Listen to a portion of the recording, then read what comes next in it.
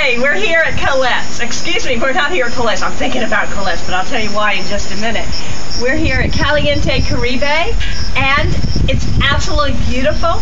It's our first day. We're a little travel weary, but what the heck, we're going to have fun. That's where Colette comes up. This evening and every evening this week, we're here for New Year's Eve week.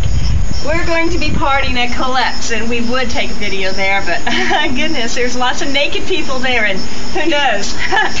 I bet some of them are even going to be having, um, doing something like maybe sex or whatever. But whatever the case is, you should join us. We're here in June.